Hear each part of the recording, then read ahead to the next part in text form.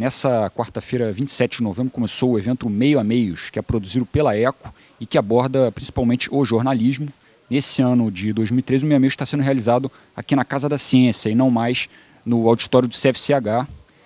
E, bom, hoje já pela tarde teve uma oficina de fotografia com o Pedro Cruz e às 5 horas foi a mesa de debate que abordou o jornalismo de ativismo, o jornalismo ativista e também, mas falou outros assuntos, além da definição do que é, principalmente a falta do jornalismo ativista em relação, em, é, em razão das corporações midiáticas que estabelecem limites aos jornalistas e então há uma falta de profundidade, além de outros assuntos também, a, a existência de mídias que abordam focos diferentes da, da mídia comum, a, a, a mídia maior.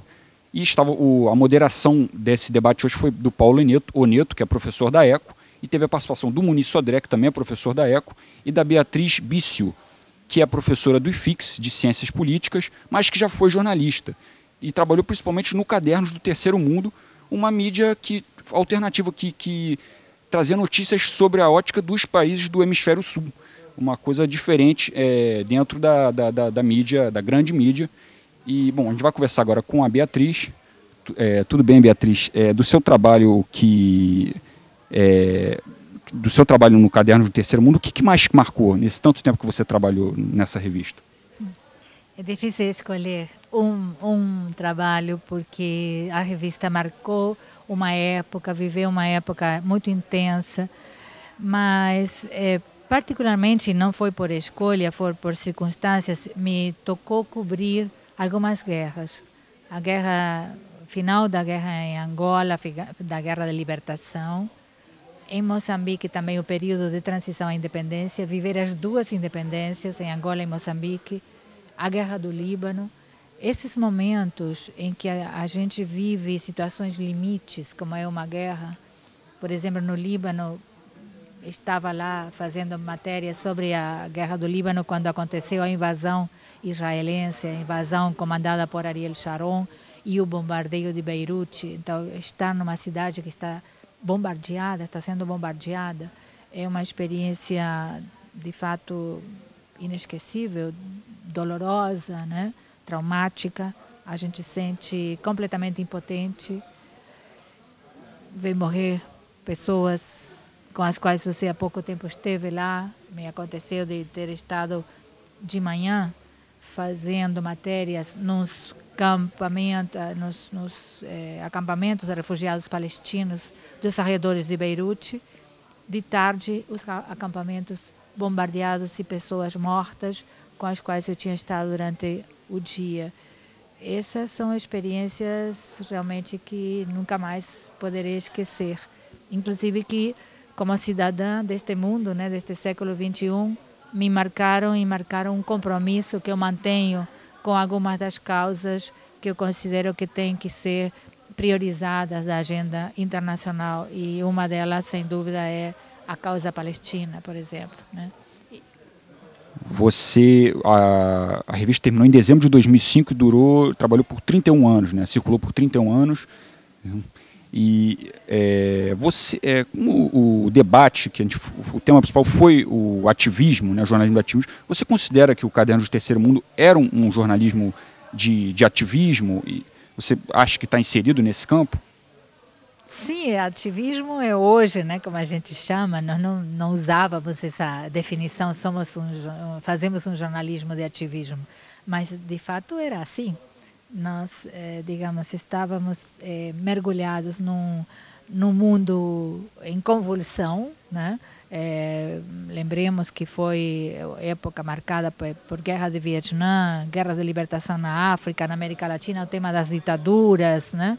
É, guerra na Nicarágua e, e, e, El Salvador, Guatemala, Irã, né? 79 e tal. Então, é, foram transformações profundas que eh, motivavam na equipe que formava a Cadernos do Terceiro Mundo uma, um engajamento. Um engajamento de que forma?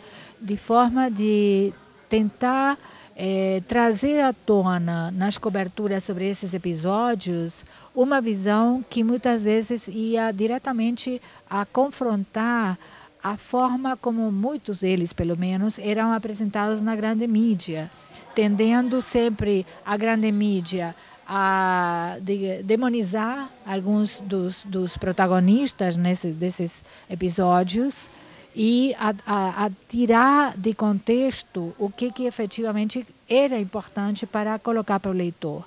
Então, nesse tipo de, de proposta jornalística, estava implícita também o fato de irmos ao encontro desses protagonistas, ou seja, nunca eh, basear as nossas coberturas exclusivamente numa eh, informação mediatizada, seja via agências, etc., sempre procurar o olhar a partir do local eh, onde estavam acontecendo os fatos, de preferência com jornalistas do local ou um eh, dos membros da equipe central indo ao local, ao encontro da situação e podendo retratá-la de dentro, digamos, né?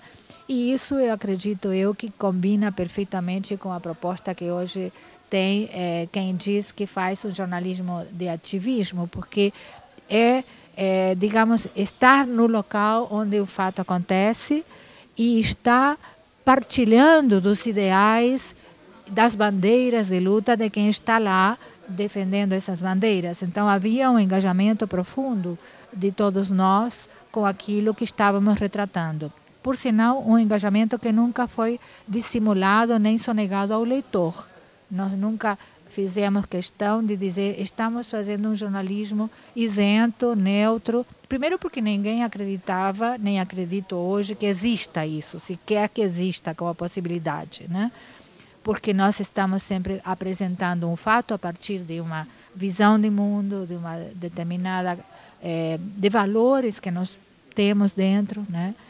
tentando, isso sim, sermos o mais, digamos assim, justos né, possíveis, até onde isso seja possível, com esse retrato né, de, dessa realidade.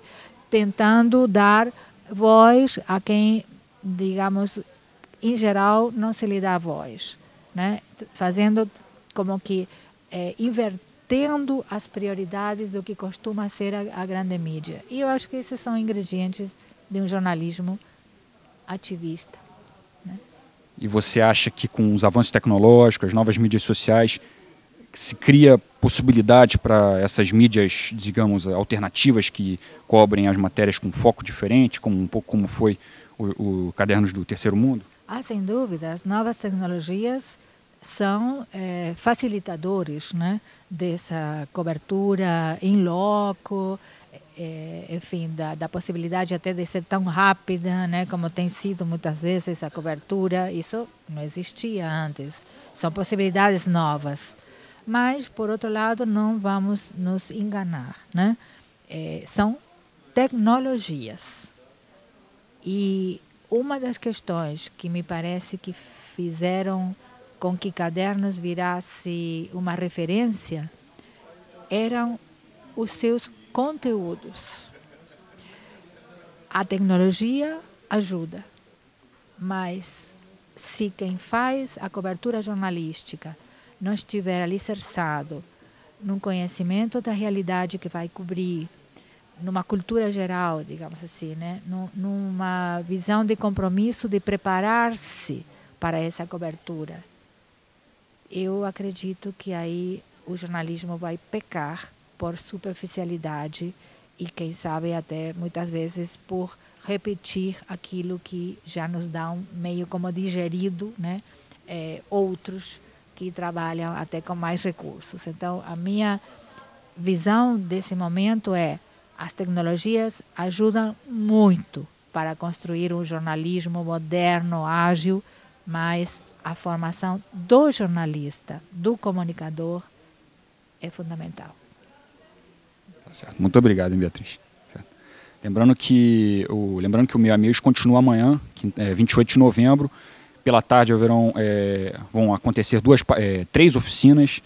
A primeira de, sobre cobertura é, sobre web ativismo com o, o, movimento Meu Rio, entre uma hora e duas e meia, e entre duas e meia às quatro horas, primeiramente o jornalismo cultural com o Rodrigo Fonseca e também sobre cobertura ao vivo com os representantes da mídia ninja. E às 5 horas vem a palestra Quem tem medo do web ativismo, que dentre os participantes vai ter um representante do Mídia Ninja. Thor Vegnisk para o TJFRJ.